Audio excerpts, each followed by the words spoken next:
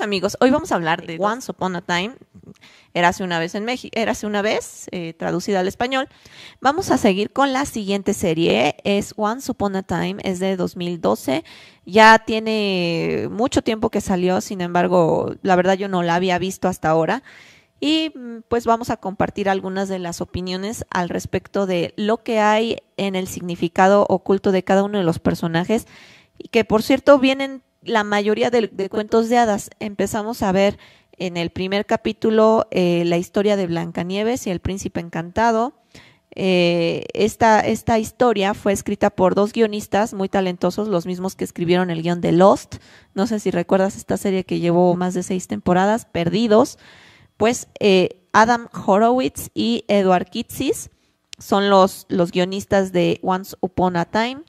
Eh, dentro del elenco tenemos a Sarah Hyland y Brittany Ograt eh, como pues la hija de Blancanieves, que es esta chica eh, Emma, que es huérfana, aparentemente fue pues abandonada en la carretera, creció en un hospicio de huérfanos y ya grande pues ha llegado por azares del destino a Storybrooke, donde bueno su hijo pues fue a, decirle que, bueno, su hijo se escapó de Storybrooke para llevarla a Storybrooke.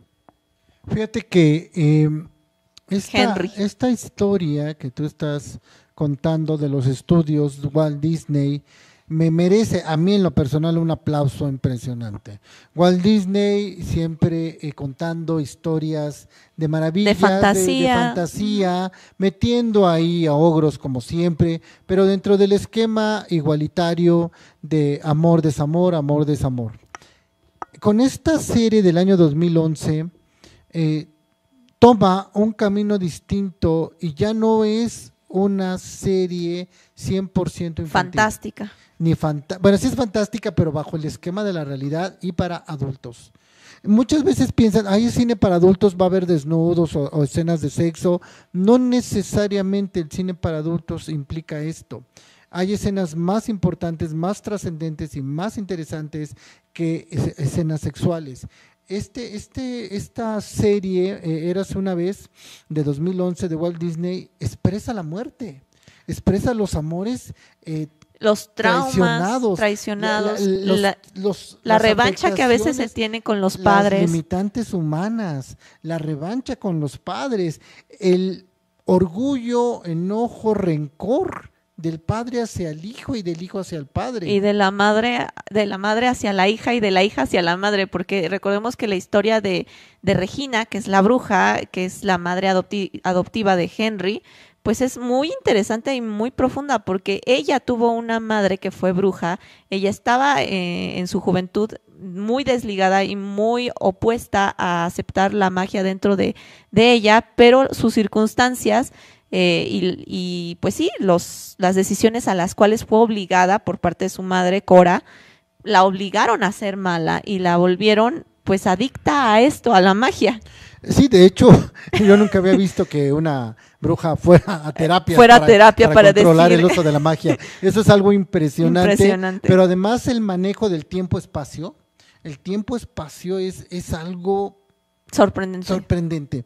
O sea, ves a Pinocho en la vida real, ves a los siete enanos, ves a las hadas, ves a Bella, Ve, oye, el lobo feroz. Estoy, yo, yo siempre lo supe, siempre supe que, Caperucita, era una mujer. Era, algo muy diferente a lo que se había platicado. Y está expresado en esta serie, insisto, es de 2011. Muchos ya la han de haber visto, otros no. Si tienen duda, búsquenla, vale la pena verla. Lo que no me gusta lo que sí no me gusta es que es larguísima. No, no, no. Es larguísima, pero yo siento que, bueno, ya teniendo un panorama general de la historia, cada capítulo te enseña muchas cosas y no necesitas como darle la continuidad. Digo, la historia general, Emma es la salvadora, necesita liberar a todos los personajes de los cuentos de Storybrooke que han sido desterrados de sus cuentos, de su, de su tierra de fantasía y de magia, por eh, un, un, gran maleficio que ha lanzado Regina, que es la alcaldesa de Storybrooke y la madre adoptiva de Henry. Sabiendo eso, cualquier episodio que veas, puedes entenderle porque en cada episodio te van diciendo cuál es, eh, por ejemplo, la historia de Garfio. A mí me parece súper, súper eh, bien hecha, bien contada y espeluznante un poco porque ahí te dice cómo perdió su mano y que fue por el amor de una mujer que ya estaba casada, que estaba casada, por cierto, con este con un brujito con- y- ¿cómo se llama? Rup, Rupstro- Ru- Rupliski, Ruplestinsky. Ruplestinsky. O sea, está muy interesante, de verdad. Eh, He visto, he estado analizando los diálogos, me parecen adecuados en términos generales, ¿no? O sea, porque además hay que recordar que está la versión en inglés y la versión doblada al español. Eh, la versión doblada al español Eh, tiene muchísima Me- me- está fidelidad con adecuada. la con la intención. intención, la idea de, de- de- de las del guion. expresiones del guion. Entonces vale la pena que la vean. eh, es de 2011, es bastante larga. Eh, me, me gusta, eh, bueno, la historia de Pepe Grillo, que es una de las primeras, también es muy interesante porque ahí dice cómo él se vuelve la conciencia de Pinocho. Pues, ¿por qué? Porque en algún momento sus padres eh, eran muy malos, eh, muy inconscientes y hacían daño a terceras personas sin importarles, ¿no?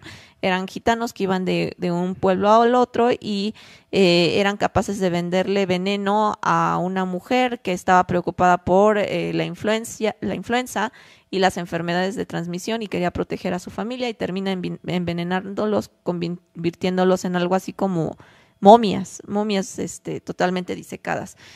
Está interesante. Muy, muy interesante. Eh, pues bueno, esto ha sido todo por hoy. Esto fue Explorando Ando. Ya saben, suscríbanse al canal Estefanía Franco, Explorando Ando. Y también síganos en re- redes sociales. Estamos en Facebook como Estefanía Franco y en Instagram como arroba wowfanny, W O W F A N Y. Nos vemos la próxima semana. Esto es Explorando Ando. Hasta la próxima.